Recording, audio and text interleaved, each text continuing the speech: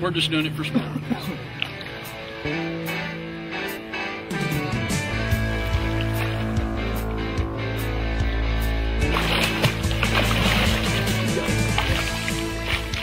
Oh, we lost him. We lost him, didn't you? Yep.